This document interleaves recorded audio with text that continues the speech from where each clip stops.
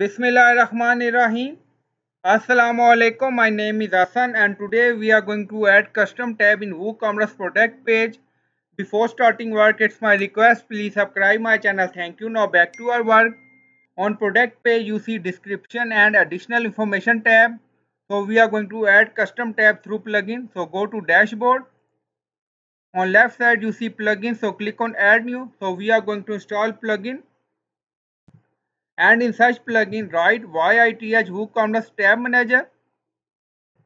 So this is plugin we will use so click on install now and then click on activate it. So plugin is activated now on left side you see YITH and then you see tab manager so click on it.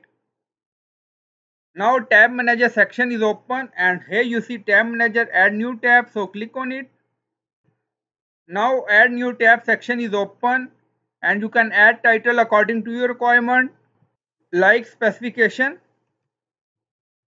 Then you can add content according to your requirement in this tab like custom tab.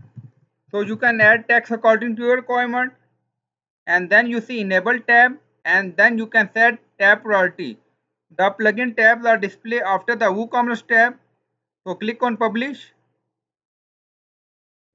so tap publish now. Now go to product page and refresh the product page again. Now scroll down and here you see specification tab we added and then you see content. So you can add text according to your requirement. Now you see custom tab. So in this way you can add additional or custom tab through plugin in WooCommerce product page. I hope you like this video. Please like, comment, share, subscribe. Thank you for watching.